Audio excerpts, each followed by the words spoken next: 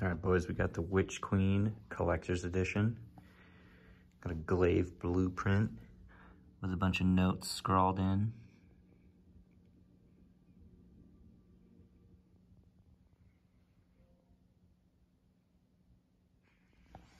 Got a note from Ikora, she cares. Got a cool, I think it's called a lithograph.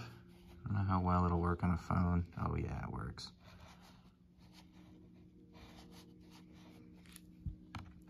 A book about something, who knows what. A lot of words. Cool little sticker. And then this bad boy.